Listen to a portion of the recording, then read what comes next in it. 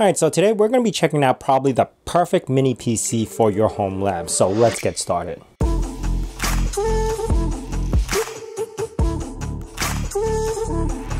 Now this mini PC is called the MS01 from Mini Minisforum and I do want to thank them for sending this over to me for review and everything we talk about will be linked down in the description below. Now to begin, this just looks like an ordinary mini PC like you would find maybe 5 or 10 years ago, but that's where the similarities end. What Minisforum just did is probably put the perfect combination of PCIe ports and connections into a mini PC that we all need for our home labs. Now to start with, taking a look at the front, and you can see that there is a power button, a headphone jack, and three USB ports up in front. Again, it looks very inconspicuous, but trust me, it's packing a lot. Off to the side a little, they do have their little logo, so it's not branded too much. The only thing you're gonna see on Minisforum is that little thing on the side. Now, going to the back, you're gonna see two 10 gigabit SFP plus ports, and next to that, you have two 2.5 gigabit RJ45 ports which is tons of networking for this guy. In the middle, you have two USB 4s that supports Thunderbolt, HDMI, and then two more USB ports and then the barrel connector for the power, which is 19 volts. But up on top, you can see this little port over here, which allows you to install PCIe interfaces to this mini PC, which is not something we ordinarily get on mini PCs in itself. So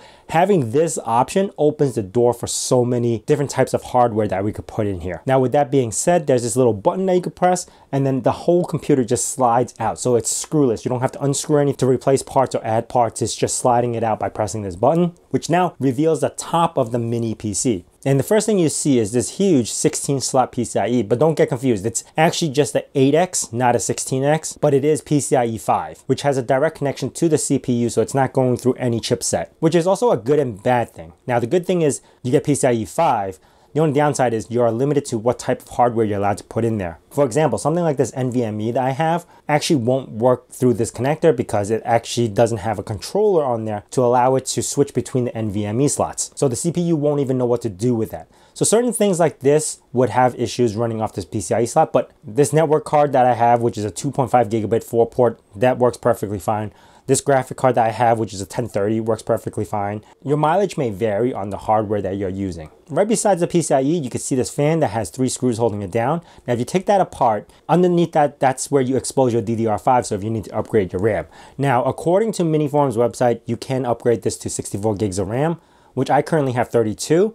But according to Intel's website for this CPU model, you're actually able to go up to 96 gigs of RAM. But with that being said, I'm very impressed on how it comes together. It's very clean. There's a, definitely enough airflow for everything to cool off. And best of all is that PCIe slot. It's something that I've been wanting to get for my home lab setup. So I could actually pass through a graphic card to a Windows machine so I could use Photoshop or Adobe or whatever products I have that requires a graphic card. Now we're not done here yet. Flipping to the underside of this, you can see this big bracket that actually houses a fan. And underneath that bracket exposes three NVMe ports. Now the one closest towards the middle is actually a PCIe 4 and then the other two NVMEs are PCIe 3s. So there is definitely a lot of storage options on this mini PC. Now this mini PC also includes an adapter that allows you to use U2. So being that U2 is available, you are now able to use enterprise grade drives. Now the difference between a standard SATA SSD and an enterprise drive is right here. You can see the middle notch is actually cut out of the SSDs while the enterprise actually has some pinouts there.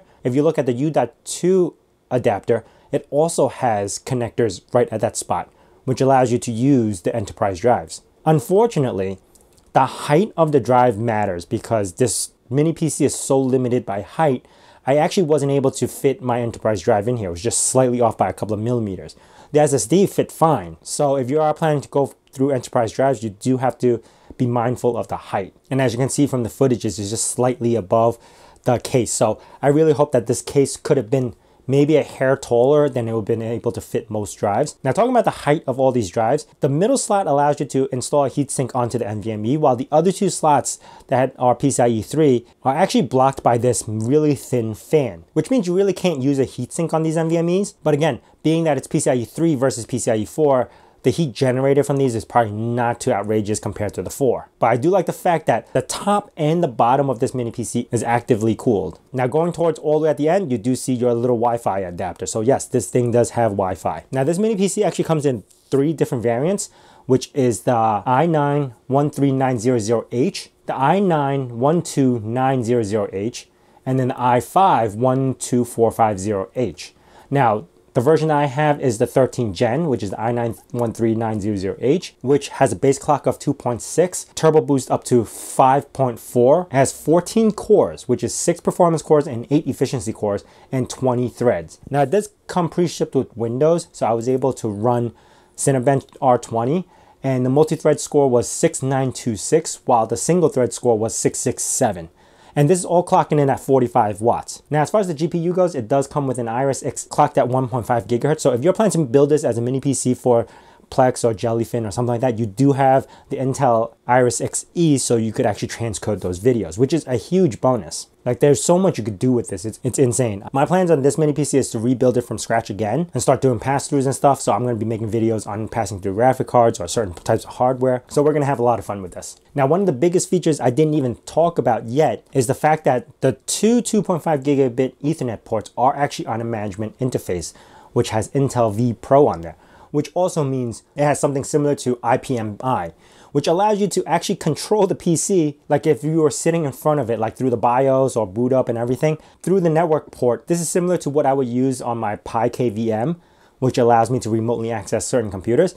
This has its own interface for it. I don't know how many mini PCs or if any has this feature. All in all, I think this is the perfect mini PC for your home lab, especially if you're starting off and you need pass-through, you need hardware. This has everything that you need. It has enough horsepower to run a lot of VM. It's running off DDR5, so it's the memory is very fast. It's got four network connections, so it's got 10 gigabits and 2.5 with management interface. A PCIe port, I mean, there's nothing else that I really need in this mini PC to make it any better. So anyway, you will be seeing this mini PC on this channel more often. I'm going to be doing more projects with it, but if you have any questions about it, hit it down in the comments below. And if you guys are new to this channel, consider subscribing and also hitting that bell notification icon so you know when the next video is going to be out. And as I say my nerd cave, hack hurts.